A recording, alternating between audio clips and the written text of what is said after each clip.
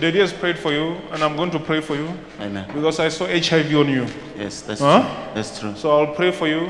But I'm surprised. Are you? I'm hearing something like issues of ministry. Yes. Huh? I'm called, yes. Who told you that you're called? Mm, uh, plus, plus minus five prophets. They told me the same thing. What? Five prophets. Five prophets. Yes. Who are those prophets?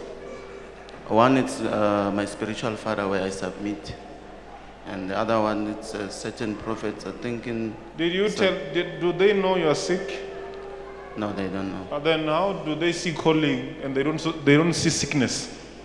I don't know.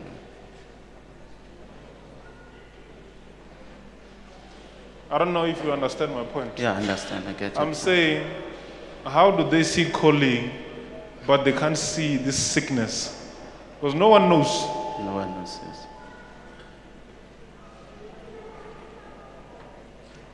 And to be honest with you, God loves you so much, and I love you so much.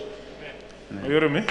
Amen. So I'm just worried that why would somebody tell you about a calling and they can't see this? Now my question is, is it God who because they're supposed to, to see this problem first Amen. before you can speak about a calling. Amen. You know, sometimes people can end up saying we don't hear from God because of things like this. Amen. Are you hearing me? Amen. I will pray for you. Amen. You're my brother. I love you. Amen. And God, God has healed you already. Amen. Are you hearing me? Jesus. People are so very much afraid of HIV. Amen. And they do always say HIV is like flu. Because there's no disease that is above Holy Spirit. Amen.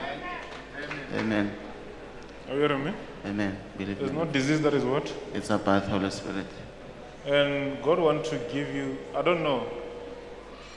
I don't, you know, people can, the reason God wants to lift you. Amen. And you know what I wanted to say I know. is yes, I know. some people can, because they want to bring you close. Amen. Huh? I know. I know that. you know, um, there's one thing that God has taught me, yeah? Amen. Holy Spirit will always say to me, run away from money. Amen. And if you do that, I'll bless you. So now you know what I'm saying. I know what you say. You know, money can make people to end up speaking wrong things. Amen. So God is going to bless you. Amen. But I'm seeing a car. and this one has Huh? got two cars. Huh? Got two I'm cars. seeing another one. Another one. I received man of God. I received a third one. No, you understand what I'm trying to say. Amen. You know, I, I'm not speaking against anyone. Amen. What I'm saying is there are some churches when you go to, because now they can see your watch that is Rolex. They say, come and sit here in front. Ish. I know. He knows what I'm talking about. huh? I had to run away from another church. So Huh? I, went, I went there. So he saw my car, so they say I must sit in front. Uh, you think I'm joking? Oh, you think I'm joking? I'm not joking. I'm telling him what he knows. There are people they see, uh, they see Rolex and they look at your shoes. They say, "Hey, come here, come here, come here, come here." They know the tithe will come being big like this, and they forget there's death that is coming. I mean, whatever that we do here, one day we'll die. I mean, I'm telling you, one day we'll die. That's my problem. That's why I can't visit other churches when I go there. Huh? In some churches, when I visit, that's my problem. It's money. Eish. It's money. Money is ruling people. So I'll pray for you. God is going to help you. Amen. You demon. You demon.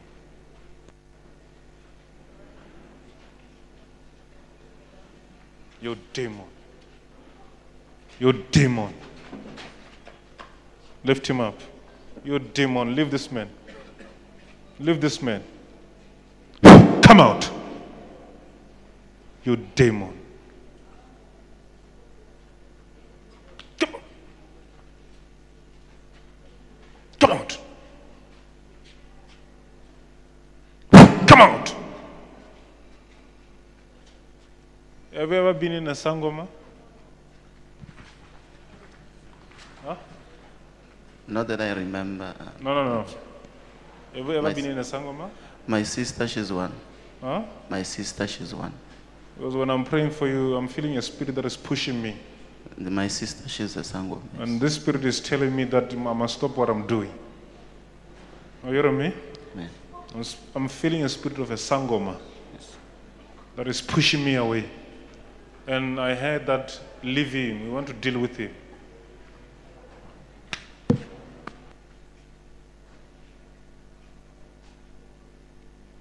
Come out, you sangoma.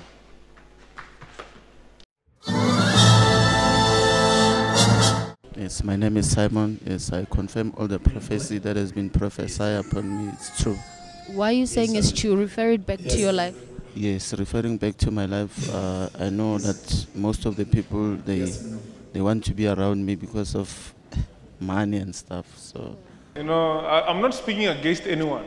amen. What I'm saying is, there are some churches when you go to, because now they can see your watch that is Rolex. They say, come and sit here in front. Yeah, no. He knows what I'm talking about. huh? I had to run away from another church. So Huh? I, went, I went there. So he saw my car, so they say I must sit in front. The man of God also spoke about the, the spirit of Sangoma. Yes, that my sister is a sangoma. Yes, and And and the sickness also. Yes. uh, and this sickness that you were coming across in life, how was it affecting you? it was really affecting me because based on you know what I have in life. So sometimes I'm not married, so I feel as if all what I have it's just gonna vanish. So and also another prophecy about the calling. It's it's true. Yes. Uh, what I can say now it's I, I need to get married. Yes, I need a wife. And how are you feeling right now as all these things have been said to you?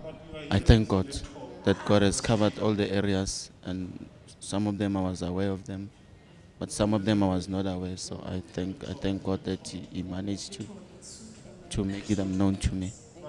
What can you say to the viewers out there? You know the the, the covering of this house, yeah, and prophetically, and you know, yeah, you know, the God is working wonders in this place. Yeah. That's all I can say.